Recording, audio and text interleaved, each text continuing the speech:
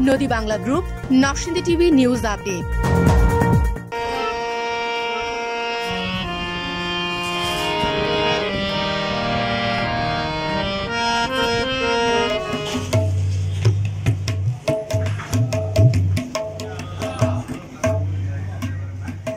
হারিয়ে যাচ্ছে একতারা দোতারা সুর সহ বেশ কিছু ঐতিহ্যবাহী দেশীয় বাদ্যযন্ত্র।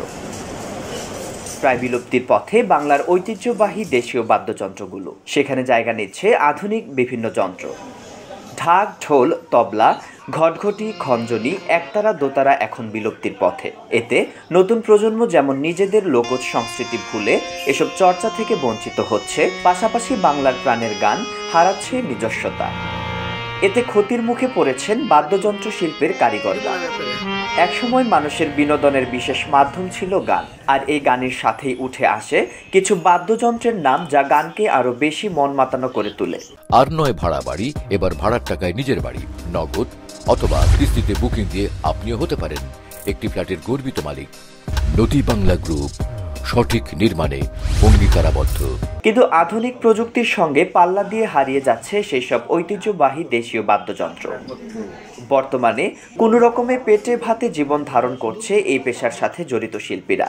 নরসিংদীর দোকানিরা বলেন, ঢাক, ঢোল, ঢুগি, তবলা, নাল, ঘটঘটি, খম, মাদল, খঞ্জনি, একতারা এবং দোতারা সহ আরও অনেক প্রকারের বাদ্যযন্ত্র আগের মতো বিক্রি হয় না। আগের মতো কেউ চর্চাও করে না। পুঁজির অভাবে এই শিল্পের বেহাল দশা দিন দিনেই বৃদ্ধি পাচ্ছে।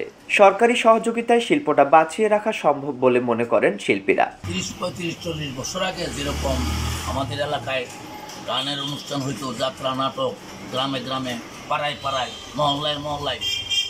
তখনকার দেখা গেছে যে এই ধরনের দোকান সব জায়গায় দেখা যেত কিন্তু এমন একটা অবস্থা এখন পরিবেশ হয়েছে, আগের মতন আর এরকম সেই আগ্রহ বা সেরকম ইয়ে- এ- ইয়ে নাই। চাহিদা কম, ব্যবহার কম, তাই এই শিল্প ধরে রাখার মানে নাই। অনেক লোকই অনেক কারিগরই অন্য কাজে ডাইভার্ট হয়ে গেছে। সরকার যদি শিল্প চর্চাকে চাঙা করতে পারে তৃণমূল পর্যায়ে, তাহলেই এই শিল্প আবার এই দোকানপাট আবার অনেক বৃদ্ধি পাবে। শিল্পীরা বলেন, দেশীয় লোকজ অনেক বাদ্যযন্ত্রকে টিকিয়ে রাখতে সরকারকে উদ্যোগী হওয়া প্রয়োজন। তা না হলে এমন নান্দনিক বাদ্যযন্ত্রগুলোকে পরবর্তী প্রজন্মের কাছে তুলে ধরার একমাত্র উপায় হয়ে যাবে শুধুমাত্র জাদুঘর। Report Aminur Rahman Sadi Narsingdi TV